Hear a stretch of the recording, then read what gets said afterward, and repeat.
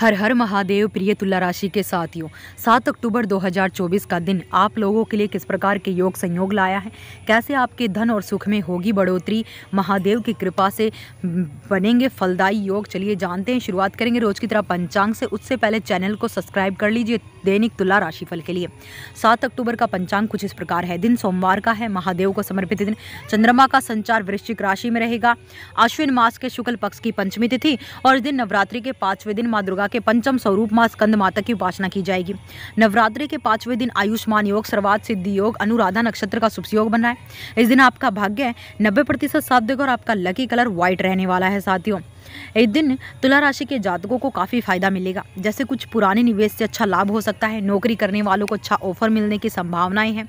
कुंडली में चंद्रदेव की स्थिति मज़बूत रहेगी, जिससे मानसिक शांति का अनुभव होगा।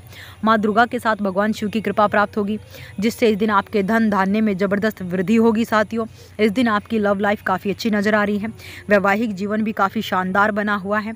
आप छोटी मोटी यात्राओं पर लगे रहेंगे। आपके परिवार के फैमिली मेंबर्स या आपकी पत्नी कोई भी। इस दिन शॉपिंग करता हुआ नज़र आ रहा है साथियों। इसके साथ ही तुला राशि वालों के लिए दिन अत्यंत फलदायी है, क्योंकि माता रानी की कृपा से अचानक धन की प्राप्ति होगी और कहीं अच्छा निवेश करने का मन भी होगा। अगर विद्यार्थियों ने इस समय कोई परीक्षा दी है तो उसका परिणाम उनके पक्ष में आएगा। परिवार में किसी सदस्य की सरकारी नौकरी लग सकती है, या फिर किसी सरकारी योजना से अच्छा लाभ हो सकता है। आप नए बिज़नेस की शुरुआत भी कर सकते हैं, जिससे आपको अच्छा खासा मुनाफा होगा। नौकरी करने वालों को नए अवसर प्राप्त होंगे, जिससे आपके करियर में वृद्धि होगी। जीवन साथी के साथ अगर कोई अनबन चल रही थी। तो वो ख़त्म हो जाएगी। पूरे परिवार में एकता दिखाई देगी। शाम के समय देव दर्शन का लाभ लेंगे। घर के छोटे बच्चों के साथ अच्छा समय बीतेगा। किसी बड़े बुज़ुर्ग की आप सेवा करेंगे इस दिन, या तो घर के बाहर या फिर घर में। साथ ही इस दिन आपका मन धार्मिक प्रवृत्ति का कुछ ज़्यादा ही रहने वाला है। इस दिन आप अपने पिता के सहयोग से अपने जीवन में कोई बड़ी उपलब्धि हासिल कर पाएँगे। पिता की सहायता से आपको धन भी मिलेगा।